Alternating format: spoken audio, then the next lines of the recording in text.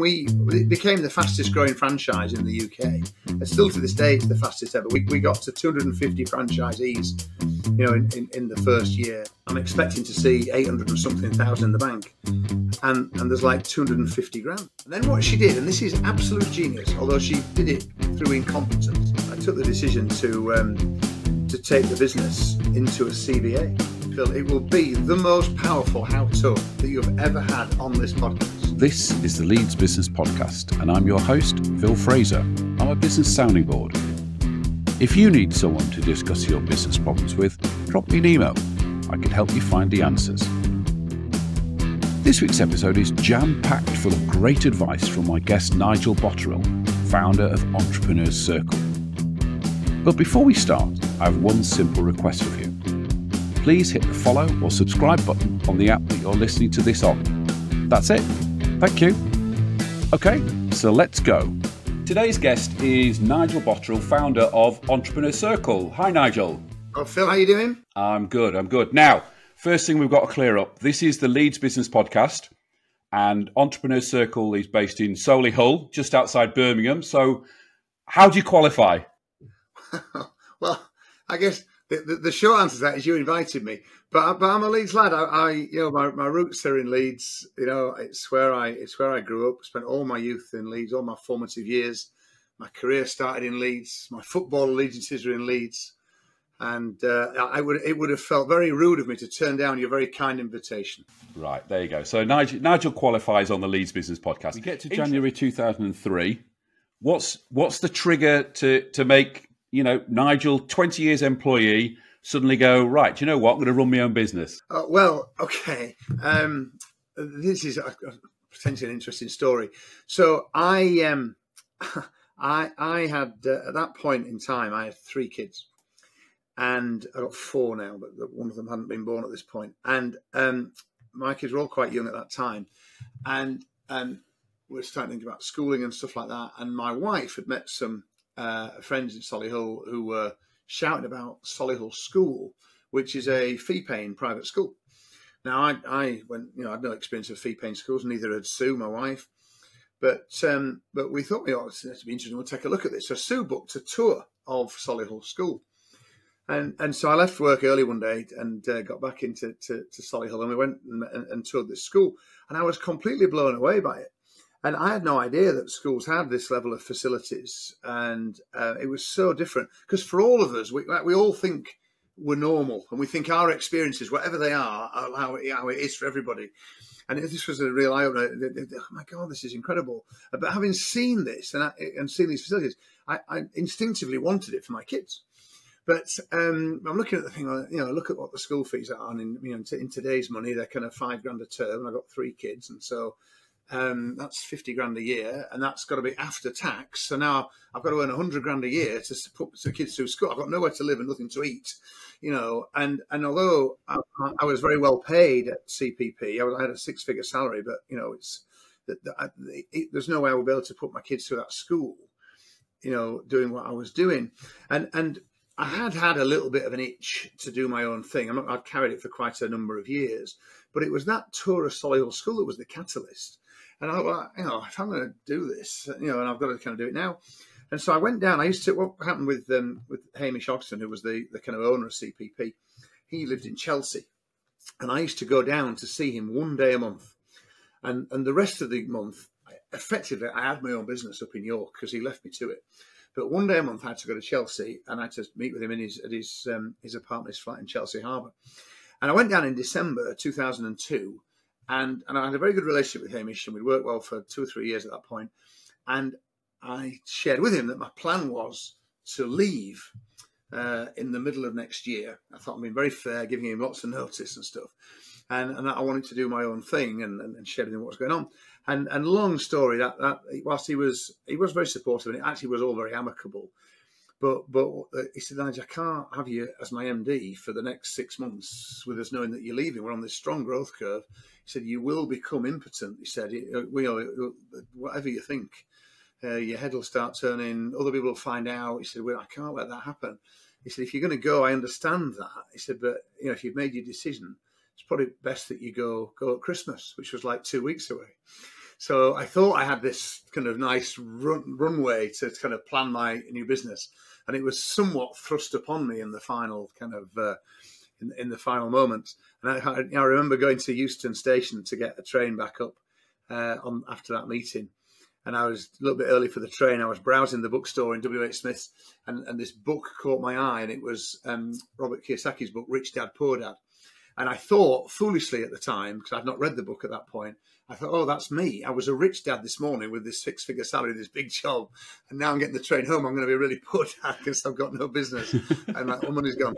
And, and, but that's why I was thrust into it. And, um, you know, but I mean, looking back, it, it was probably one of the best things that could have happened, really. Did you have a plan as to what you were, what you were going to leave to do? Well, a little bit, yeah. I mean, I, I, I knew about marketing. I'd grown businesses. I'd, I'd, had impact at Cordwell.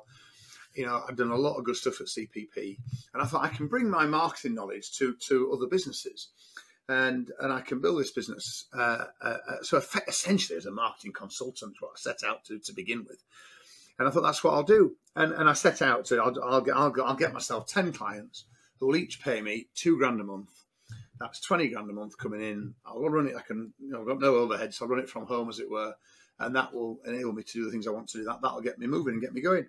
And um, and the deal I had with with Sue was that I had a year to move a hundred grand from the business account into our personal account because hundred grand is what we needed to maintain the lifestyle that we had and have a, a chance of, you know, putting the kids through that, that school.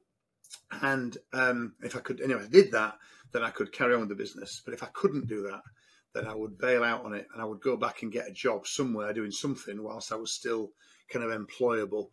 And but that clarity of goal, I think, was really helpful.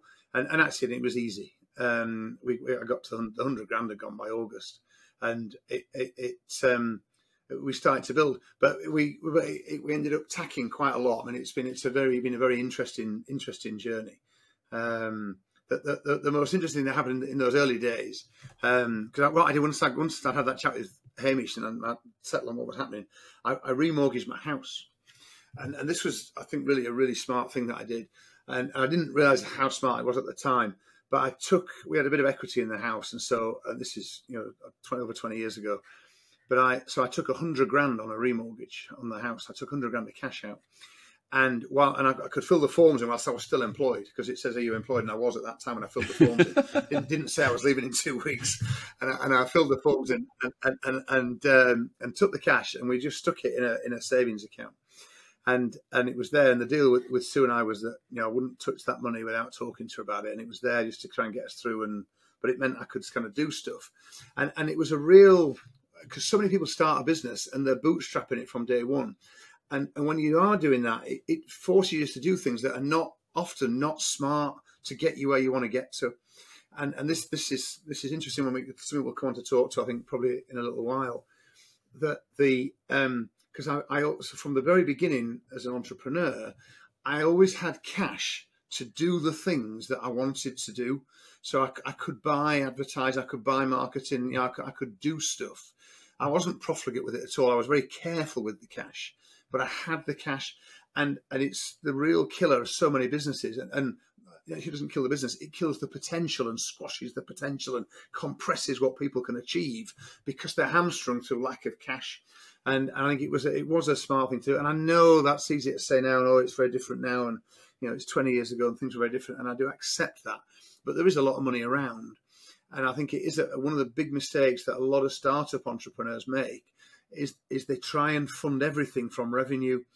And, and that isn't how super you know successful sustainable businesses are built um, that you know that they they've got capital and they've got cash, they've got debt, a lot of them from somewhere to, to do the things that you need to do, and it's it's it's not in fact it's rarely smart to pay for everything from revenue.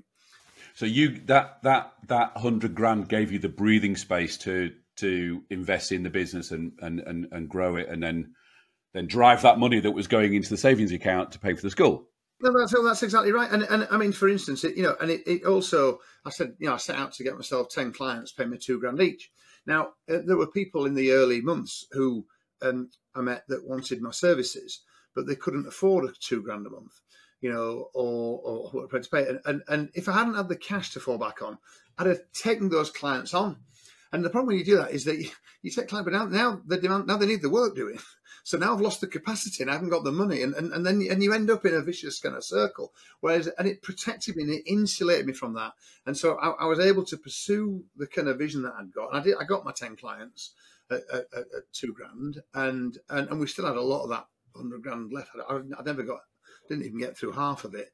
Um, but I mean, one of the things I did, I got I got an invitation um, to go to a, a, conference in America, uh, about six months in, and uh, and it sounded great. This conference, I really wanted to go, but it was going to cost me two or three grand to go to this conference. You know, and I've been an entrepreneur for six months, and and I oohed and ahed about it for a long time. I, I ended up ringing my dad up, who was, as I said, a police officer, he was not an entrepreneur, and he gave me very wise advice, as he did, in, you know, many times in his life. But you know, he said, "Look, you've." Um, you know, you, have taken a big leap and set this business up. He said, "It seems to me that this, you know, two or three grand isn't going to kill you.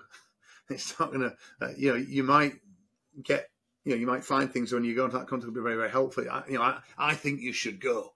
And it was like I got permission from my dad. You know, I was like 38 years old, uh, but my dad said I could go, so I threw the three grand out and bought the tickets and, and went. And but that conference, genuinely, that that conference changed my life.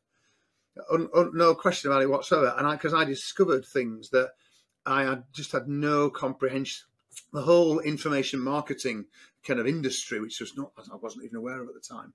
Um, a lot of the cutting edge marketing techniques, because the Americans are so much more progressive than we are. And I, and I, I went, oh, it was an incredible experience at this at this event, and I met people. Um, I joined a mastermind group. I'd never even heard of mastermind groups. You know, like, oh my god, I found this, and and then I so then I ended up going to America. You know, I used to go half a dozen times a year, um, just to get stuff to feed intellectually feed me and to feed the business. And a lot of what we achieved in subsequent years was because of that development and that, that, that, kind of came from that trip. And, and a lot, you know, you track everything back, all these things wouldn't have happened if you hadn't, you know. Um, and, and one of the things that we, we did, my um, my wife, you know, she, she, she'd been a full time mum for seven years until I, um, you know, packed the job in at CPP and started on my own.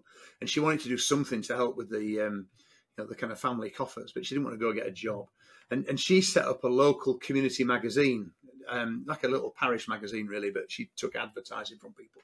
And she did a great job with it. It was really, it was really successful.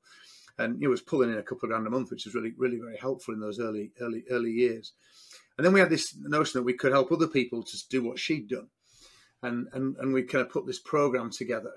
And, and, and again, I was able to use my hundred grand. So once I've got this program together, I, I um, I, I spent a little bit of money and built a website um, for this program.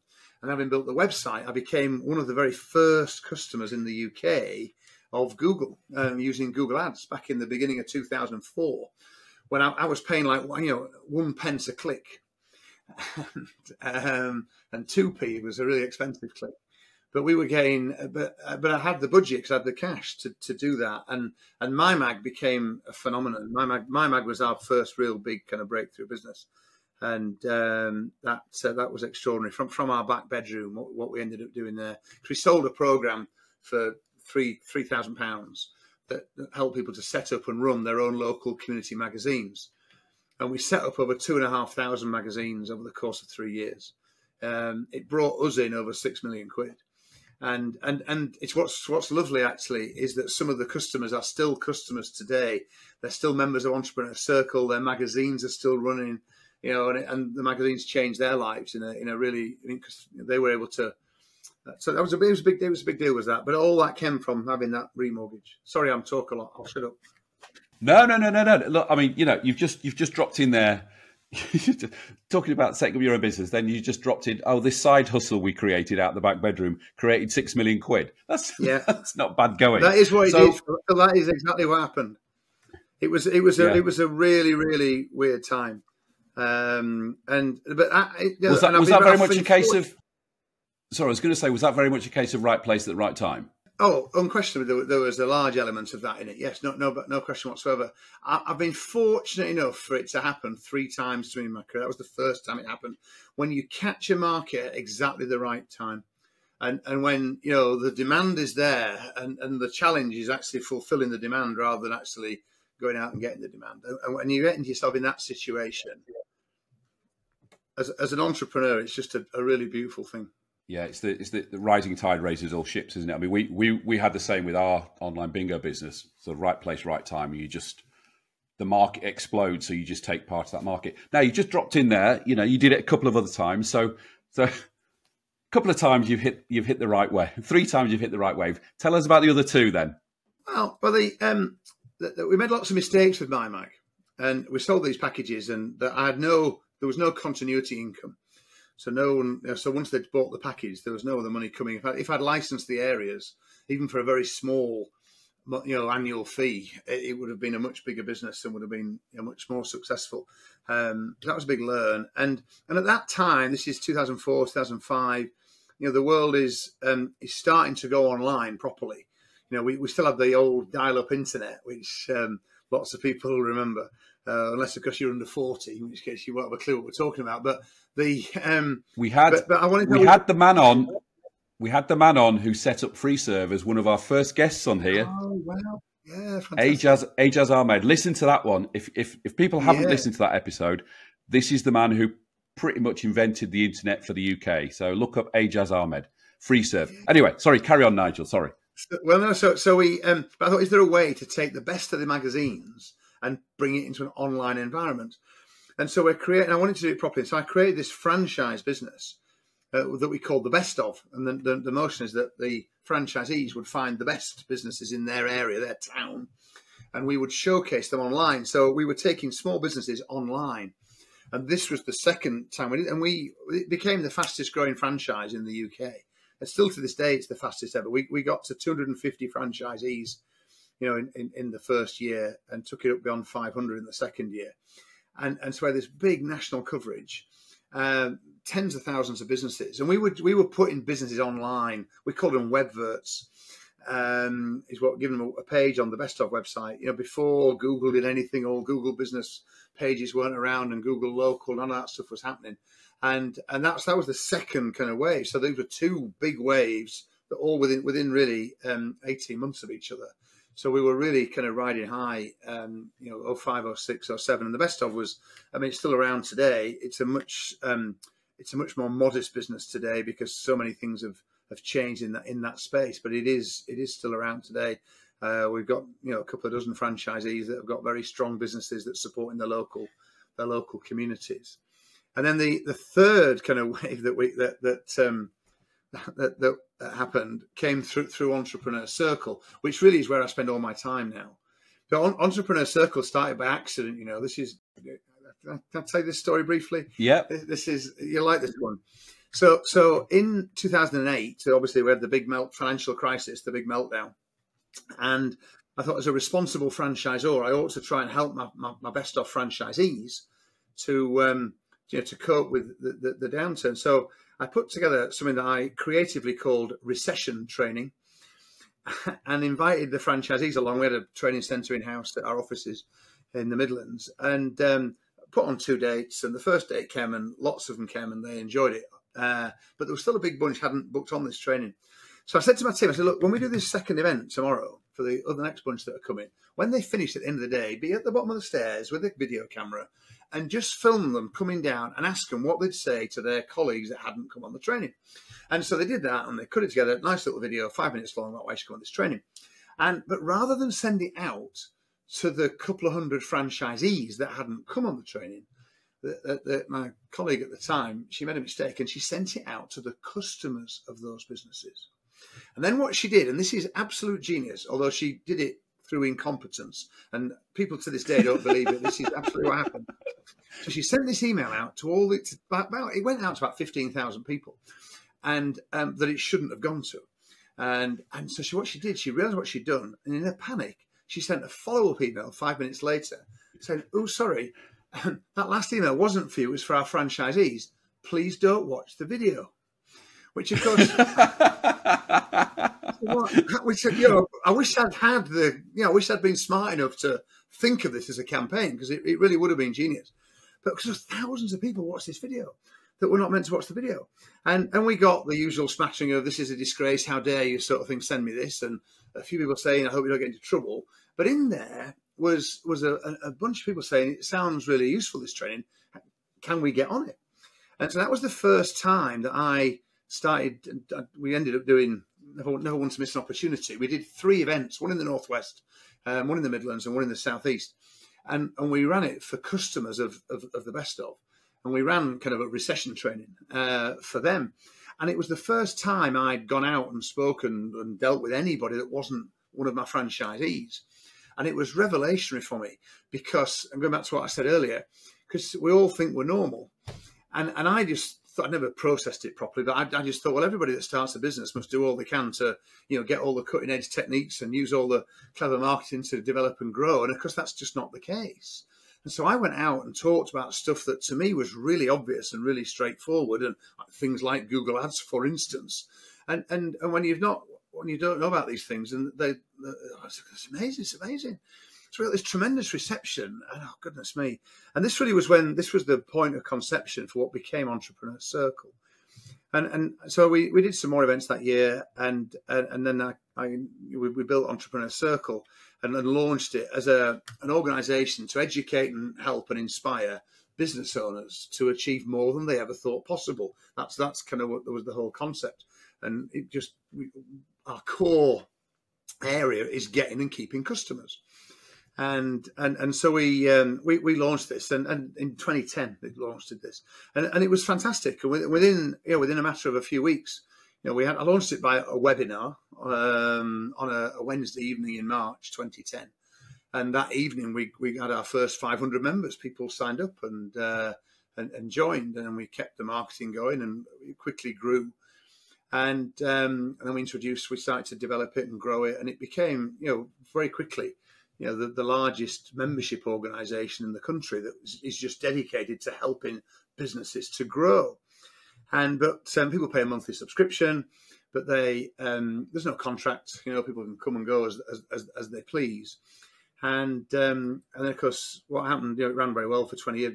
That became my main focus. The team grew. There's about well, there's just over 50 staff our head offices now in, in, in the Midlands, and um, it was all going well and, until um, uh, until you know Boris announced the lockdown, and like every business owner around at that time, you know, um, I, I went to bed that night, you know, um, wondering what I was going to do with the rest of my life because clearly I'm going to lose the business I've got now.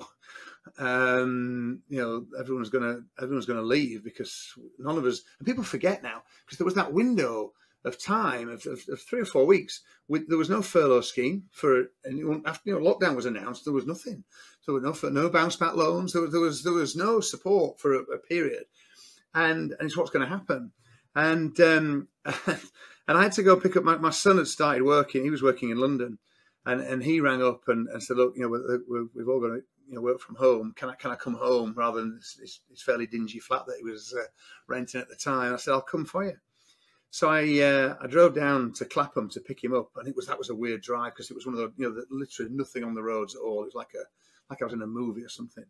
And got to his house, picked him up, and uh, we're coming straight up the motorway, and we're chatting, and he's asking about what's happening with Entrepreneur Circle. And I said, I think it's going to die, and, and we were chatting it through. And um, we had we were one of the first. We have a big annual convention every year at the ICC, and it was scheduled to happen that weekend. I think from memory, it was like a Monday night when Boris announced the lockdown, and our event was due to happen like on the Thursday and Friday. So we were like the first event to be um, kind of shut down, and that was that, that of itself was scary because it's a big event. Our convention, you know, there's like 1,500 people come, and it's it, in in round numbers, it's a million pound event. But on the Monday of the week in which it's happening, what's happened is the million pound has come in and, the, and 950 grand has gone out. And and now I can't run the event. And I'm thinking, well, they all can't come to the event. If they all want the money back, I, I haven't got the money. The money's all gone. It's you know it's been paid to the venue and to all the speakers and to all you know all, all the kind of set and all the AV people and everything else that you have to do. And so I, I you know, that's that's going to kill me probably before all my all my subscriptions, all my monthly subscriptions just just drift off and die. So I'm chatting with my son Elliot on the way back from um, you know Clapham on a completely deserted M40, and and we just start chatting things through. And and um, he's he's a smart lad, and, and we, we're just talking. And I figured that well, if I'm going to go down, I'm going to go down in flames, and I'm going to die. You know, my business is going to die spectacularly because actually we do know a lot of stuff and we can help a lot of people. And and so I made the decision on that on that motorway journey with Elliot. And I thought we'll we'll we're we'll do a virtual event, and we did it on the following Monday, and we spent twenty grand uh, to promote it. And um, we had thousands of people turn up on this event. We made it free to anybody. We, called it Operation Protect. I think you were there, Phil. You know, and uh, that time everyone we had loads of people there because people had nothing else to do, did they? Everyone was at home, and and so we had this massive audience. And and what we said was um, uh, uh, we, we hope we give them practical ways to cope with this and things you could do as a business to, to you know to, to steer through these times. And I said, and, and, any help you need, we're here for your entrepreneur circle. Don't worry about pennies, any money at all. Just come in and be a member for three months, and we'll help you. And um, and and what happened was like like thousands of people joined Entrepreneur Circle like that afternoon. And it's like, fuck. Now they didn't pay any money, so I'm still thinking I'm probably going to lose the business. But but I'm now thinking, cranky. But if I could actually keep these businesses for three months, in three months' time, and maybe the maybe this pandemic will be over by then or whatever, but we can maybe start moving again. So, so we moved heaven and earth just to just to be helpful and useful to people, and and it, and it paid back in spades. And was there's still uh, well over a thousand members that joined us over four years ago now on that Operation Protect that are still with us. They're still with us, you know, and um, that was the that was the third time. Although it's a long way to get to. It. That was the third wave because all of a sudden we had we, we went from having you know it was always a decent it was a good sized organisation with EC a lot of staff a lot of people was a big business but suddenly that transformed us and took us to another level and um, you know, and by I think doing what we did, you know, and, and, and, we did go above and beyond during that time. That that that that helps us hugely. It's really it's really really interesting because I you know we often on here discussed with people you know how was COVID for you, and obviously mm-hmm. lots of people were it was a complete disaster, and then there's certain people it was a big uptick, and obviously you've got a huge uptick, and, and you're right. I I joined and had three great months, and and it's interesting the thing you said right at the start about you know normal and yeah. you know a lot of what you teach i you know i'm i'm quite experienced in marketing i know quite a lot of stuff so a lot of it was without being arrogant oh you know i've done that mm-hmm. probably more reminder mm-hmm. than than learning mm-hmm. but there was so many other people going wow that's amazing and yeah. actually for everybody who's listening what nigel teaches is absolutely amazing and and before we carry on and really dig into entrepreneur circle um, I need to tell everybody or remind everybody about the Leeds Business Podcast Fair Deal. The Leeds Business Podcast Fair Deal has two sides to it. My side of it is every week, totally free of charge. I bring you inspirational, motivational, and fascinating guests like Nigel. Uh, your side of the deal, uh, dear listener and, and viewer, has two parts to it. Part number one, um, I want you to recommend this podcast to one other person that you think will get benefit from it. And part number two, I'd like you to write a review either at Apple Podcasts on the app, uh, at podchaser.com, or give us a thumbs up on Spotify. Or if you're watching on YouTube, give us a wave, Nigel, to everybody who's on YouTube. Hello, YouTube. And everybody who's watching on YouTube can see Nigel's absolutely amazing shirt. He's famous for his his, his shirts. Um, everybody who's watching on YouTube, give us. Oh, everyone on YouTube, give us a thumbs up and post a post a, a, comment on the bottom of this. So, so that's the Leeds Business Podcast. Fair deal. Fair deal, Nigel. Fair deal. Fair deal. Right. Okay. So, you know, you've you've touched on and you've alluded to and mentioned Entrepreneur Circle. Tell us what entrepreneur entrepreneurs. It's easy to say. Tell us what Entrepreneur Circle does and offers to SME business owners. Uh, as I said, we, we, we set out to, to kind of educate and motivate and help and inspire business owners, our core space is getting and keeping customers, and that is the that is the space where we are genuinely world class. But of course, to run any successful business sustainably, you, you, do need to do a bit more than just that. And it's amazing, you know. So we, our, our support stretches a little bit. We're, we're very big on understanding and knowing your numbers. You know, the answer to any problem in any business can be found in the numbers. So we, we work. We do. You know, most the truth is, most accountants sadly don't do a very good job with their clients it's not always the accountant's fault because the client don't pay enough money to do a good job. But it's so important once you start to properly understand your numbers, it, it, can it can liberate you. So we, we, we branch into other spaces, but the, the, getting and keeping of customers is our is our core space. We've got local meetings all over the country. There's over hundred of those every month. There's a really great meeting in Leeds. Uh, meets at, it meets at Garforth every, uh, every every month. Of our, our, our, Leeds membership is, is in there. Those meetings pulled together. We run live events. We run online events. There's a, the our online vault is um, has all the kind of step by step training that's, that, that helps you to get you or your team to to get into the place where you're able to exploit um, you know the thing the things that matter these days because the truth is for 70 years after the war if you wanted to grow a business all you had to worry about you took the biggest ad you could afford in yellow pages you had a lot on word of mouth and if you're a bit flash or really ambitious you went in the local paper but all that has changed in the last 20 years it's completely different now and there's so many more options and opportunities and um, the businesses that don't know what they are and don't understand them and don't exploit them end up, you know, not being as successful as, as they could be. And we aim to fix that. That's all we do, really. One of the key things I know you talk about a lot is the rhythmic acquisition of customers. Yeah. It's one of the things I think a lot of businesses struggle with. You know, oh, I've got a new client. Shit, I've lost my client. Oh, I need another client. And and just talk to us a little bit about that that concept of rhythmic acquisition? In many ways, it is. It's like the holy grail in business because um, if you've got the right number of customers coming in consistently and rhythmically, and obviously the rhythm is different for every business. I always talk about we have um, uh, two, two examples. I got a restaurateur actually in, in South Yorkshire. In uh, he's got he's got three places in Sheffield and Barnsley. So his rhythm, he needs 180 people a day and I got another guy who runs a yacht refurbishment business, and he ideally just wants three customers a year. And and they're at the they're at the opposite now. Somewhere between three a year and 180 a day is your business, uh, almost certainly. You don't need that many. You don't need. You know, and and you understand what your rhythm is.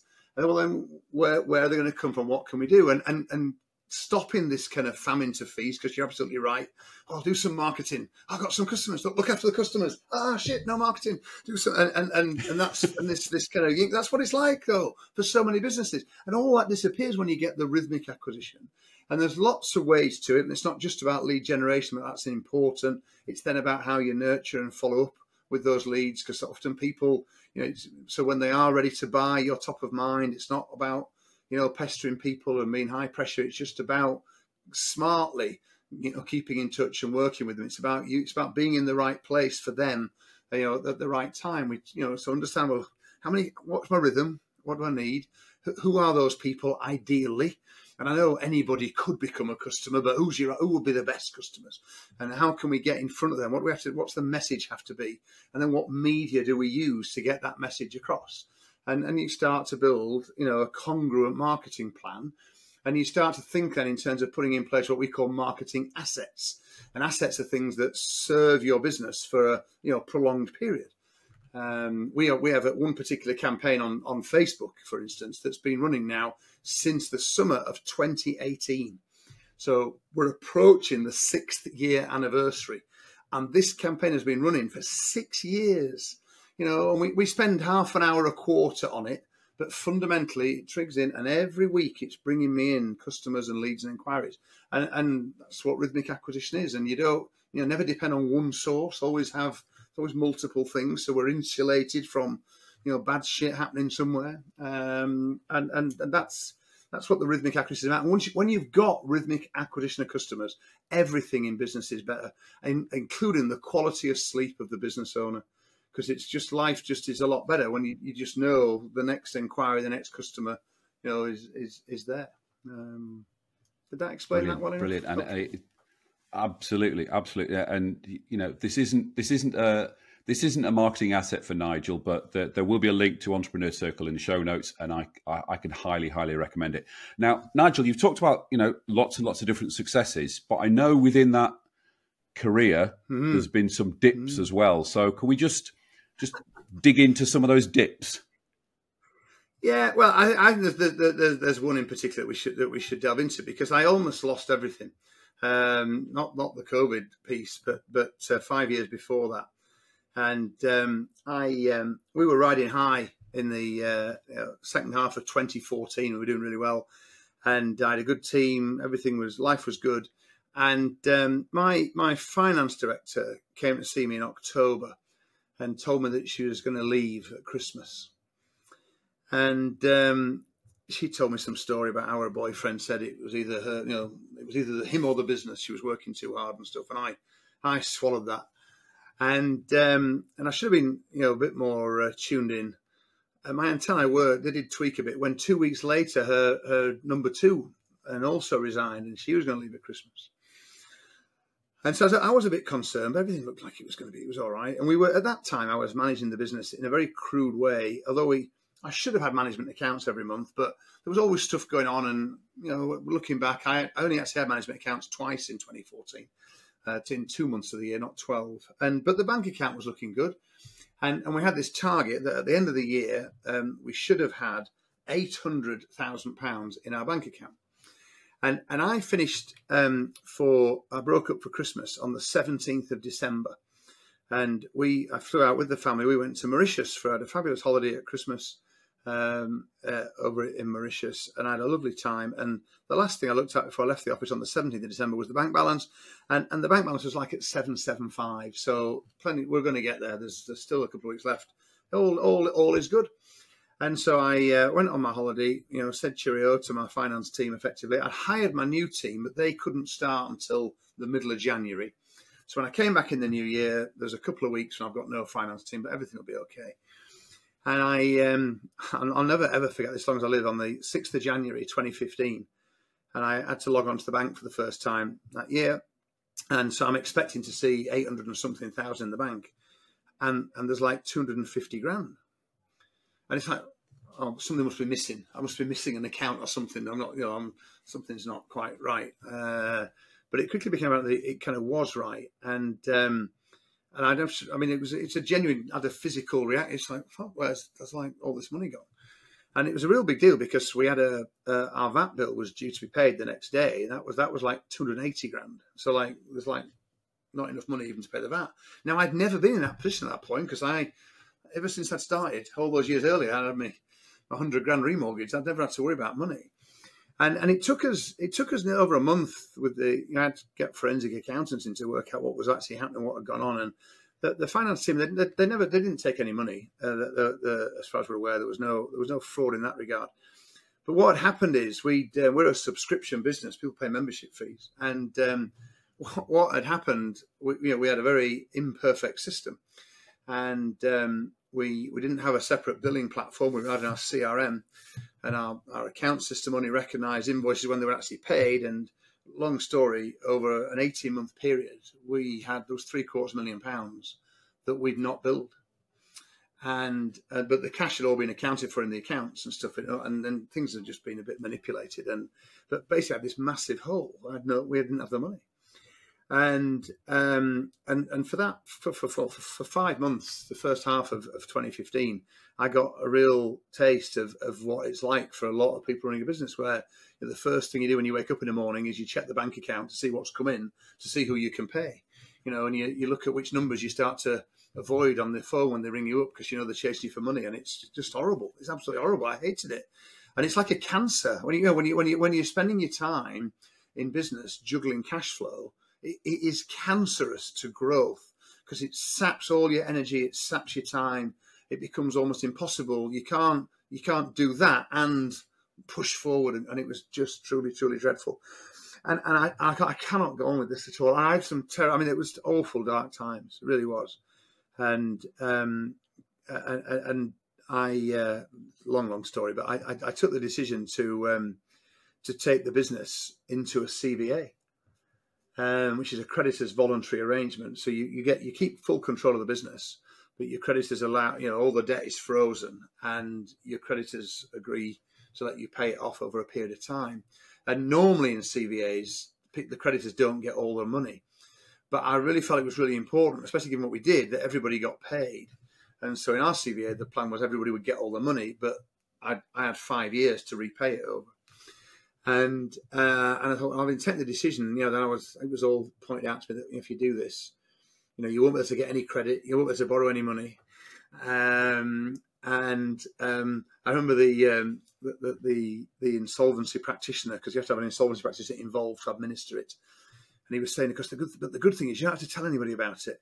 Uh, it does. It is a matter of public record, and it, and it goes at Companies House, but you don't have to tell anybody. I said, no, no, I have to tell everybody. Said, what do you mean? I said, well, I can't have, I can't have anybody having holding this over me. I said, if I if I do this, I've got to kind of own it and and, and be upfront about it. And and so we did, and on the on the fifteenth of June, because we got it all lined up, and then you you strategize with this. And there was a there was a point when we went in, and and and on the fifteenth of June, 2015, um, Entrepreneur Circle Limited went into a CVA, and I I did a video from from this office that I'm in now to all my customers and all my prospects, and I explained in quite a lot of detail um, what had happened and and and why it had happened and, and and where we were at, and and we lost a few customers. Um, you find out I had there was this massive outpouring. Um, my secretary at the time, she did a brilliant job, and she collect. I've still got it. It's a it's a it's a book about two inches thick. Because I got so many supportive kind of emails, and which was really helpful actually, because that was a real personal low time, you know.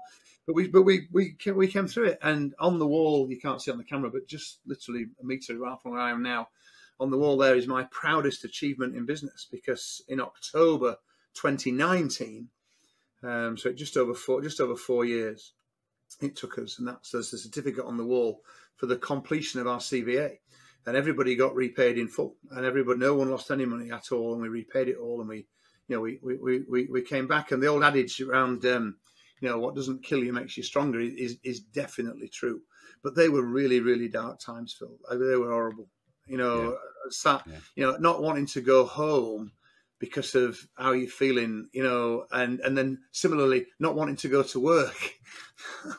I mean, there's a there's, there's a car park between me and my office, and you know, several times I pulled into that car park and just sat in my car and cried because I didn't, you know, I I just there were times when I just did not know how I was going to steer this ship through this. So how was how was how we going to get through this? What we're we going to do? Um, so it was absolutely bloody horrible. Um, but I think it, it, it, you know, looking back now, I mean, I, I wish it hadn't happened, but it, it does help. You know, it's true that you, you, we're all of us the sum of our experiences, and in that regard, I'm definitely I'm a better entrepreneur, um, without a shadow of a doubt. And I think I'm also more useful to my customers having been through that experience. Baring your soul there, Nigel. Amazing.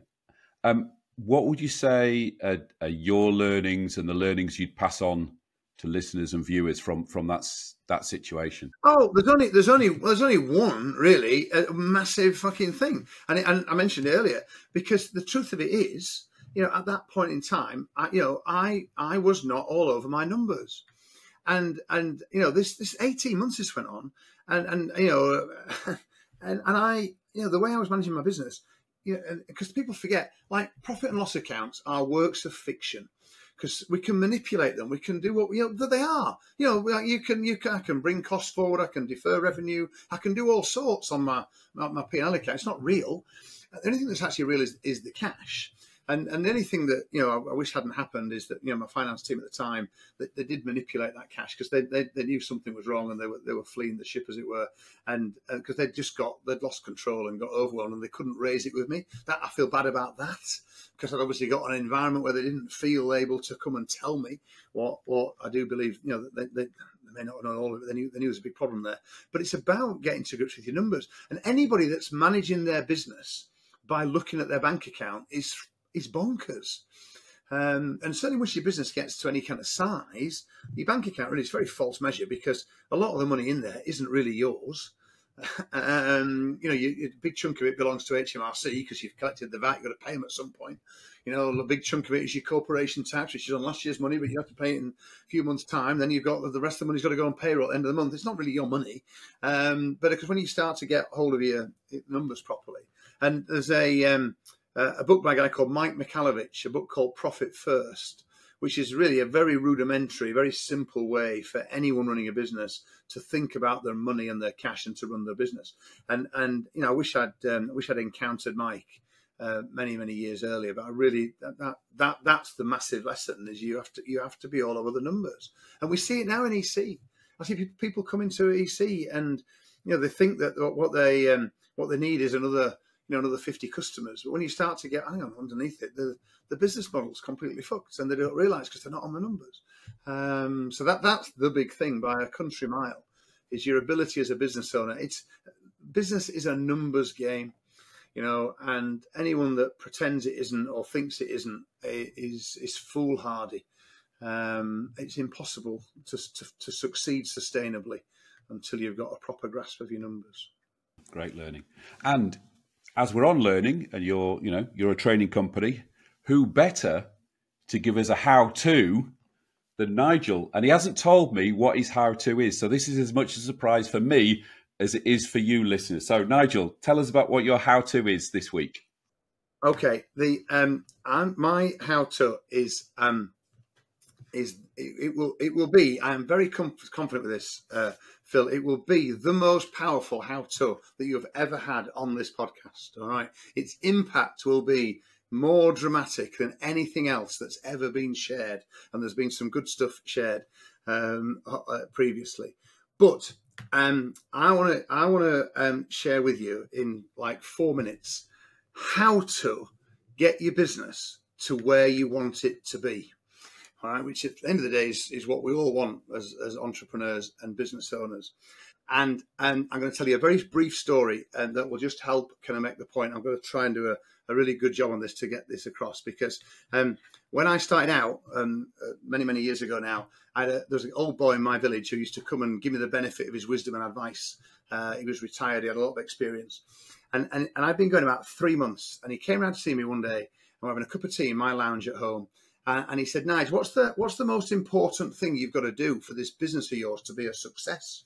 And I hated the question, horrible question. But I think, well, somehow I've got to get get enough customers. He said, I think you're right. I thought, phew. He said, so uh, when are you getting customers today then? I said, sorry. He said, well, you just told me that the single most important thing for the success of this business, he said, which I happen to know right now is the single most important thing in your life. And it definitely was because everyone had told me I was stupid, you know, leaving this career and doing my own thing and remortgaging my house. I had to make this work. He said, any sane, sensible person would have some time set aside each day to do the single most important thing. And I felt an absolute idiot, Phil, because I didn't have any time set aside. I was really busy, really busy. I wasn't lazy. I was doing all sorts of stuff but I had no time set aside to do the important stuff that would move my business towards where I wanted it to be. And I started a habit the very next day, and I call it doing my 90 minutes.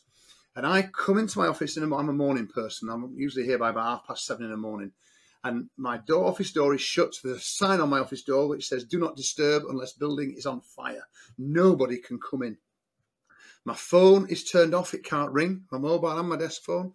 I close down my email before I go home at night, so I can't even take a sneaky peek at what's coming to the inbox. And I've got a list of things that are for me to grow my business. And every day I come in, and the first thing I do in the morning is I spend 90 minutes doing the stuff that will move my business towards where I want it to be. And what then happens is at nine o'clock in the morning, I emerge blinking into the light and I can deal with whatever the day throws at me because I've done the most important thing. And, and what happens for most people is they get stuck in straight into the day to day. And it's the day to day that kills dreams, Phil.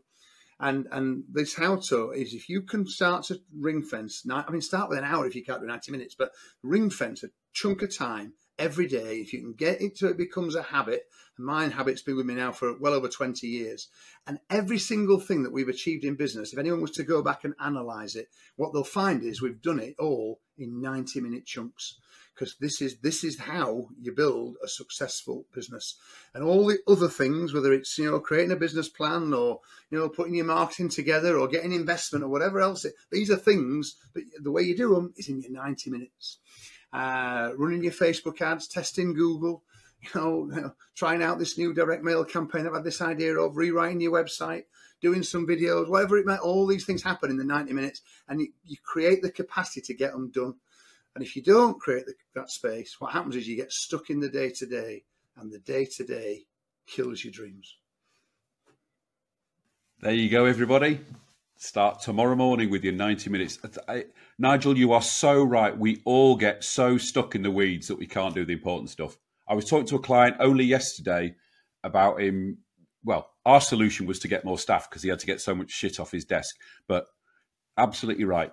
Don't get stuck in the weeds. Do your 90 minutes. Now, before we finish, you gonna... get, the beauty of the 90 minutes, sorry to interrupt, but the beauty of it is you can then get stuck in the weeds for the rest of the day.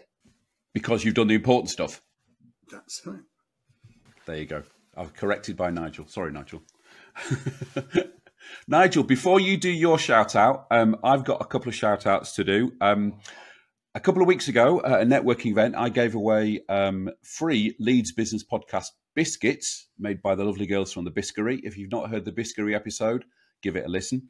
And I asked all the recipients to post a picture of themselves with my biscuits on LinkedIn in exchange for a shout out. So, two shout outs here.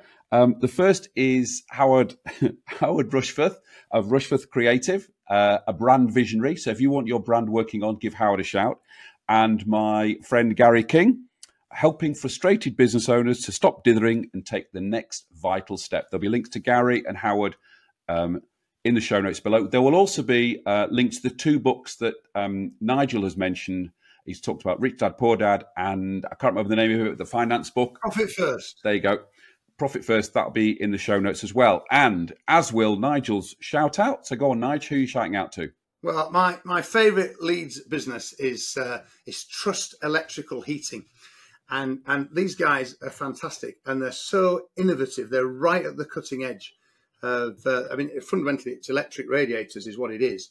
But it's such clever technology and it's all built in the UK and it, it's based out of Leeds. Uh, they're up towards Garforth, is where their uh, offices are and it's invented there and it's developed there and they're growing like topsy and they're such a massive kind of success story and such lovely people and uh, the more people that know about trust electrical heating and what they're doing uh, the world will be a uh, not only a better place but an environmentally better place as well. They're uh, really really good guys. There you go. Fantastic shout out. Um, nigel it's been an absolute pleasure. Fascinating stories and some brilliant learning as well. Thank you ever so much indeed. It's been great fun thanks for having me phil. Thanks for listening to this episode. I hope you found it interesting, inspiring, and of use. To make sure you don't miss out on any future episodes, please subscribe to the show. Go on, do it now. Do it now before you go off and do something else. Thank you. Much appreciated. Oh, and don't forget our fair deal. See you next week.